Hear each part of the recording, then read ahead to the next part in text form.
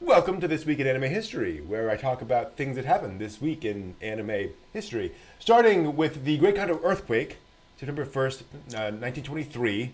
Uh, worth mentioning a devastating earthquake that hit the Kanto region of Japan and leveled uh, large swaths of the cities. Um, pretty much every work of animation made up to that point burned in the Great Kanto earthquake and was destroyed.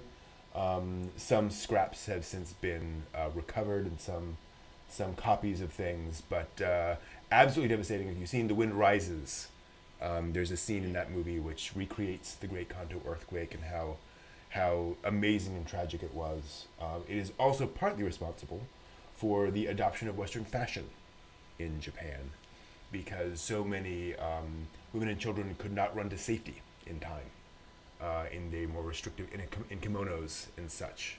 And so there was a big drive to change to Western clothing as a result of the Great Kanto earthquake.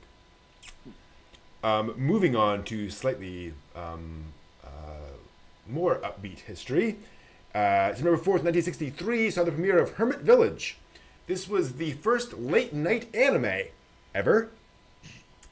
It aired um, slightly before midnight, um, starting September 1st um, and of December fourth rather, and um, it was a rather risque manga at the time, um, and quite. Uh, it, it's basically about a group of um, uh, Buraku, uh, also what it's called.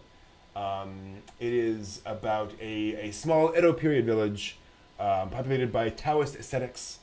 Uh, the eldest researches magic and alchemy, while his disciple is more interested in the the more physical aspects of human existence. Um, and he rather gets around. It's a lot of, uh, of, of fun stuff around that. It is also technically the longest running comic with only one artist in Japanese history.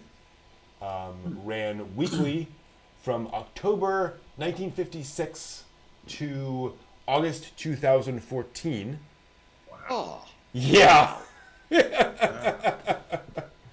Which is darn impressive. Ko Kojima um, was the uh, uh, the the mangaka behind that, and there was an anime adaptation of that, 15 minutes long, um, and uh, um, very hard to find, obviously. Um, but uh, yeah, that is a um, that was technically the uh, the earliest uh, thing. Um, I was just checking out something real quick. Um, uh, nope, eh, never mind. Uh, otherwise, also, um, in the month of September, we're not quite sure exactly when, 1972, Studio Sunrise was founded. Ooh. Oh, yeah. Makers of Gundam and many other mecha series and other shows as well. Very well respected anime studio and founded by some um, ex Tezuka employees who wanted a more democratic studio to work for, uh, a somewhat less autocratic uh, um, leader uh, in there, which is For why. some reason, I, for some reason, I thought you were going to say ex Yazuka, but is, uh, Not quite. Yeah, he wasn't that bad. Um, Tezuka, not That's- Yakuza. yeah, there we go. Um, which is why pretty much every Sunrise anime um, has a credit created by Hajime Yatate. And you'll see that in the credits for most Sunrise anime, uh, which is a, an alias that basically means all of us. Um, So they always reference in their anime that it is a collective effort of creation there at Sunrise. Oh, very, very, very nice. That is what happened this week in anime history. See you next week.